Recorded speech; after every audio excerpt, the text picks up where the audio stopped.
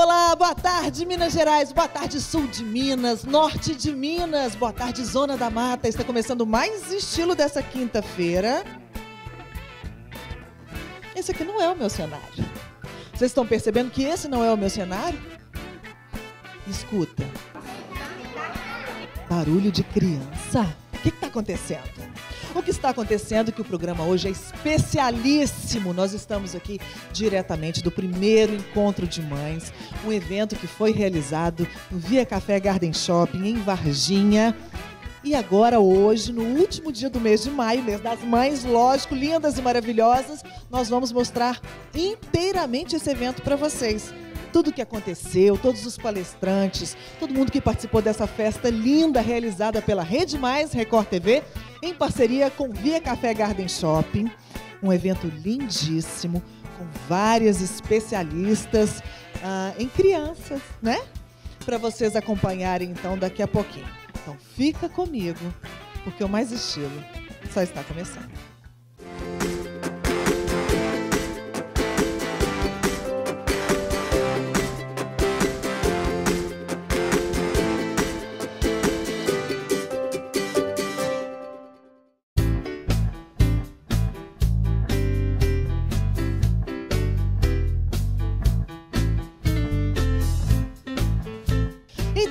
Vamos lá, vamos começar este evento maravilhoso, mas para começar esse evento eu também quero falar, porque eu sou mãe. Eu sou mãe também. Vocês acham o quê? Olha como eu estou descabelada, de chinelinho, não é? Eu não tenho cara de mãe? Tenho? Tenho não? Tenho não? Não? Mas eu sou mãe. E eu, gente, sou mãe de três filhos. Eu sou mãe de três filhos. Sou mãe do Pedro, de 17 anos. Eu sou mãe da Luísa, de 12 anos. Eu sou mãe do Rafael, de 8 anos. Eu cuido deles. Eu tinha uma empregada, tinha. O que, que eu tinha mais? Cozinheira, tinha motorista. Eu tinha tudo. Hoje eu não tenho empregada, eu não tenho motorista, eu não tenho nem marido mais mas eu cuido dos três. E eu trabalho a cinco horas de distância, 300 quilômetros de distância dos meus filhos. Eu venho para cá de 15 em 15 dias trabalhar e deixo tudo organizado para eles. Eles ficam espalhados, né, gente? Eu saio panfletando filho, quem quer. Quem quer, quem quer, para eu poder vir trabalhar. É possível, gente, é possível. Então eu vou contar para vocês um pouco da minha experiência de ser mãe de três filhos. O que, que acontece? Quando a gente arruma o primeiro, primeiro, gente, primeiro namorado. Já marcaram o casamento? Não é assim? Não é assim que falam? É a vizinha, a vizinha do lado, a vizinha do outro, a colega de trabalho. Mas geralmente é tudo amigo da mãe, né? Da mãe da gente. Não vai casar? Quando é que os pombinhos vão casar? Aí você casa. Aí você casa, quando casa, e aí, já encomendaram o bebê? Oh, gente, mas que inferno! Acabei de casar. Aí você encomenda o primeiro bebê, fica grávida ali no maravilhoso, o neném nasce. E o segundo, quando é que vocês vão ter? Aí você tem o segundo, né? Segundo filho chega, aí você tem o terceiro filho. O que, que acontece? Agora chega, né, filha? Vai ligar, né? Não tem jeito de agradar, gente. Nada tá bom, todo mundo quer, quer, quer controlar a vida da gente, né? Não tem como a gente agradar todo mundo. Mas não tem problema, não. Ser mãe de três é uma beleza. Por quê? O terceiro filho, gente. Quem cria? Quem cria? A gente não cria o terceiro. Alguém tem três filhos aí? Ninguém tem três filhos, sou eu. Sou eu. Então vou contar para vocês. Gente, vamos fazer a conta. É uma questão matemática. Nós temos dois olhos, dois ouvidos, dois braços e duas pernas. Onde que a gente cismou que a gente pode ter três filhos, gente? Um sobra. Um sempre sobra, não tem jeito. Às vezes eu fico pensando que podia inventar uma geladeira para a gente botar um lá, cuida dos dois, aí pronto, resolveu, reveza, tira de lá e pega outro. Porque não dá. Um sempre sobra. Mas qual que é a receita? A receita é: pega tudo, bota no coração, está resolvido. Amor. É com amor que a gente resolve. Porque criar a gente não cria, não. Terceiro filho a gente não cria. Quem cria o terceiro filho da gente? Quem? Qualquer um, gente. Quem tiver. Quem tiver por perto na hora resolve. Pode ser a mãe, pode ser o pai, o avô, a avó, os irmãos mais velhos, a babá, o pipoqueiro, o cachorro. Quem tiver, cria. Quem tiver que está vendo lá, que o menino está lá, resolve, educa. Gente, isso é até uma piada. Por quê? Que os filhos da gente resolvem engolir moeda? Por que, Evelyn? Evelyn, enfermeira. O que, que acontece com essa raça tão querida dos nossos corações, que todo menino quer engolir moeda? E ele só engole moeda naquele minuto. Naquele minuto, não, porque a gente não fica um minuto sem ver o filho da gente. Naquele segundo que a gente pisca, não é? Eles engolem moeda. Quando o primeiro filho engole a moeda, o que, é que a gente faz? Desespera, chama o SAMU, leva para o hospital, para pronto atendimento, faz escândalo, médico, atende meu filho primeiro, pelo amor de Deus, que ele engoliu a moeda. É isso que a gente faz. No segundo filho, o que, é que a gente faz? Calma, gente, calma. Engoliu a moeda, ok. Amanhã depois a moeda sai no cocô, resolvido. A gente fica lá de olho no cocô, porque mãe, mãe não tem nojo, né? E no terceiro, o que, é que a gente faz? O que, é que a gente faz com o terceiro filho? Desconta da mesada. É assim. Terceiro filho é desse nível, gente. Outra coisa que eu preciso contar para vocês, já que ninguém aqui tem três filhos, então a única experiente aqui nesse assunto sou eu. Gente, com três filhos, a gente vira a inimiga mortal de todas as mães de coleguinha. Principalmente quando chega o mês do quê? Do aniversário do filho. Por quê? A mãe resolve fazer a festa num buffet infantil, meu povo. E buffet infantil cobra por pessoa. Vocês acham que a mãe do coleguinha vai me convidar? Eu, agora não, que eu não estou mais casado, mas era, seria eu, meu marido e meus três filhos, cinco bocas sendo que é só uma criança que eles queriam que fosse. Só um coleguinha, né? Então, no mês do aniversário, gente, não tem como. A mãe não passa nem perto de você, porque ela não vai te convidar para o aniversário. Depois você tem o terceiro filho, acabou a festa em buffet, tá? E outra coisa também, e quando você vai fazer a festa? O que, que você faz? Gente, uma festa só para os três. Um faz aniversário em fevereiro, o outro faz em, em março, outro faz em, em dezembro. Em julho, gente. Julho, melhor data, pronto, pega, metade para um, metade para outro. E além de ser o meio do ano, que você faz uma festa para todo mundo, o que, que você garante? Julho é férias. Quantos coleguinhas vão estar viajando? Isso significa que a lista de convidados vai ser menor. Né? A gente não precisa preocupar. A gente tem que pensar em tudo, a gente tem que pensar em tudo. Mas eu quero dizer uma coisa para vocês. Cinco em casa é um time de futsal. Um time de futsal, cinco jogadores. Isso é que é o legal de uma família com três filhos. Porque todo mundo joga em prol do gol de um. Um tem que fazer o gol e todos os outros vão lá ajudar ele a fazer o gol. Independente de quem seja, o pai, a mãe, o filho, independente. Outra coisa legal de ter três filhos, qualquer evento vira uma festa. Não é? Almoço de domingo, papai, mamãe e os três filhos. Bom, já virou festa. Já pode botar música, pegar o refrigerante, porque já virou festa. Tudo vira festa. Ir ao cinema é o quê? Uma excursão. Né? É uma excursão. Eu vou contar para vocês, meu marido já foi pego pela polícia, a gente tinha uma doblô, e a gente foi levar, dar carona para o filho da moça que trabalhava lá em casa. Então, meus filhos, mais ele, a polícia parou a gente achando que era transporte escolar clandestino. Verdade, isso é verdade. Então, tudo é uma festa, tudo é uma excursão, tudo é muito bom. E ter três filhos significa você nunca mais na vida vai estar sozinha. Nunca mais.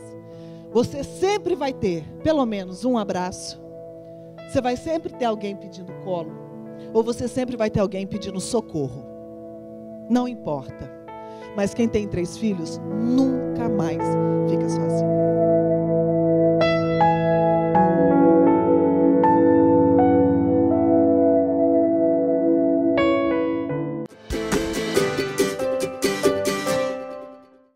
Agora aqui no Mais Estilo, Mariana Veiga, ela é executiva de contas da Rede Mais, né? Toda a iniciativa desse evento, a organização partiu dela, ela que é mãe e viu essa necessidade em trazer para a região, né, para os nossos telespectadores da Zona da Mata, também do norte de Minas, essas informações para as mamães.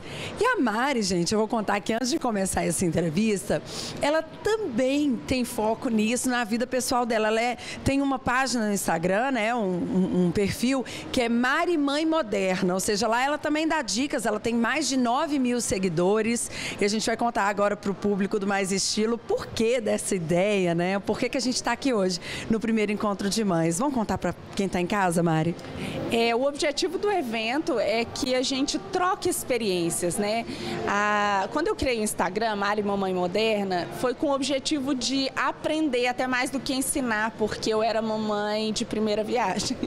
Então eu precisava ter acesso a algumas mães é, que eu seguia nas redes sociais, mães mais experientes que eu e que poderiam me ensinar, né? E o objetivo foi esse, mas o Instagram foi crescendo, porque eu acho que as mães de primeira viagem, elas é, têm muito sim a, a, a ensinar, sabe?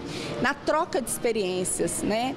E eu vivi é, coisas na minha gestação, situações na minha gestação que, que me fizeram sim ter o que ensinar. Eu tive embolia pulmonar pós-parto, eu fiquei nove dias internada com o Lucas no hospital, com ele, ele com seis dias nascido. Então eu passei por uma situação de risco de vida que me, que me fez ser, ser uma mãe melhor.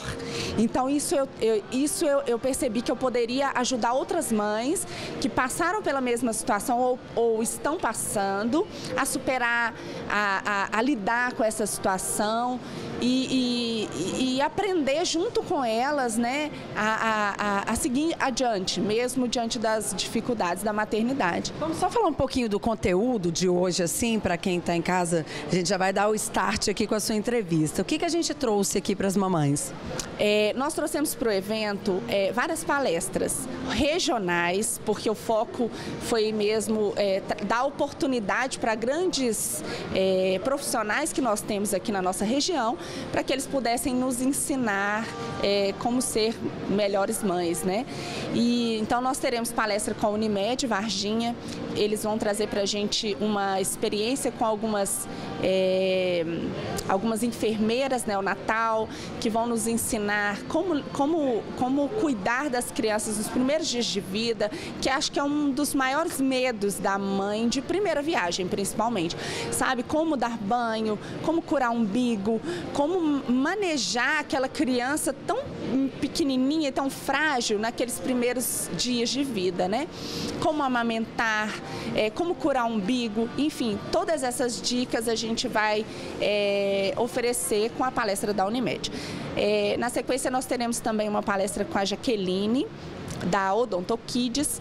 Ela é uma odontopediatra e ela vai dar algumas dicas para as mamães também de como cuidar das primeiras, é, dos primeiros dentinhos, né? Quando iniciar a higienização bucal, como que se faz essa higienização, porque na, é, enquanto as crianças ainda não têm dentinho, a gente higieniza de uma forma. Após a primeira dentição, já é outra forma de higienização, muitas mães não sabem disso. É, na sequência, nós teremos também uma palestra com a Mariluz Pichelli, nutricionista, que vai nos ensinar, ensinar como introduzir os alimentos, né? como, como nós podemos, como enquanto mães, ensinar as nossas crianças a serem mais saudáveis, né? Nesse mundo em que todos os alimentos chegam prontos para a gente, né, tão industrializados. Muito produto químico. Muito produto químico, né? Tem tanta criança viciada em chips, em refrigerante. Eu, refrigerante. Como eu digo lá em casa, eu falo muito com o Lucas, é, quando ele vê chips, ele fala, é chechelitos. Eu falo, é chechelitos, não pode comer. Então, é, essas dicas, né, de como trazer para as mamães, é, de forma leve e agradável, uma boa alimentação para a família e para os filhos. E nós teremos também é, uma palestra com A Grazi? A Grazi, personal. Ela vai nos ensinar isso assim, é uma luta de todas as mamães. Depois que a gente ganha, né, depois que a gente que as crianças nascem, nós temos um problema que isso não tem uma mãe que, que, que foge disso. Não reclame, que não passe por isso. Não tem, porque até as, as mamães saradas é, só mudam o corpo. É, sofrem disso, que é, é, o que a gente chama de diástase, que é a separação do reto abdominal, né, desse músculo que a gente tem, é, que por conta da expansão da barriga, ele se separa e depois quando a gente tem a criança, né, depois que o neném nasce, esse músculo não volta tão fácil. E isso gera vários problemas, né, a gente, é, com a recuperação do corpo pós-parto. Então ela vai trazer para a gente algumas dicas de exercícios que podem ser feitos em casa para recuperação do corpo pós-diástase. Gente, é muito conteúdo, é muita coisa. Vocês vão acompanhar a entrevista da Angélica Rod, entrevistas minhas, com as mães, com parceiros, com palestrantes. Tem muita coisa boa nesse primeiro encontro você vai ver tudinho no nosso Mais Estilo. Beijo!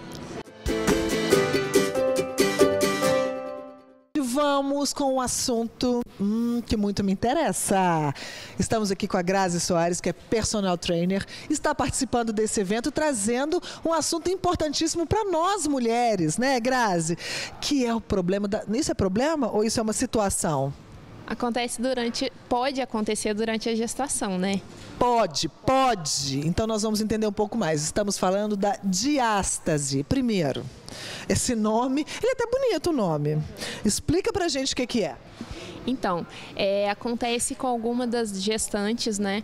É, conforme o bebê vai crescendo, com o líquido amniótico, com a placenta, conforme vai crescendo o bebê, pode ocorrer um afastamento excessivo do reto abdominal, que é essa musculatura que nós temos no abdômen, chegando até às vezes romper.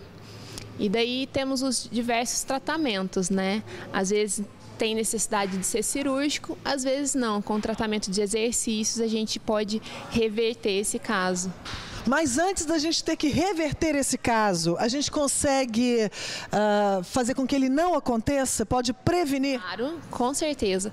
É, normalmente, mulheres que treinam, praticam alguma atividade física antes da gestação, diminui muito os riscos de vir acontecer uma diástase abdominal qualquer atividade física. É isso, uma dança, natação, musculação, tudo isso, o importante é não ser sedentário. Sim, claro que temos alguns exercícios mais específicos. É, por exemplo, no treinamento funcional, a gente faz mais abdominal, é, na musculação. Alguns exercícios mais específicos, claro que vai dar um fortalecimento maior do que às vezes uma dança, alguns. Ah, então, para quem está pensando em engravidar ainda, uh, qual atividade física que você recomenda?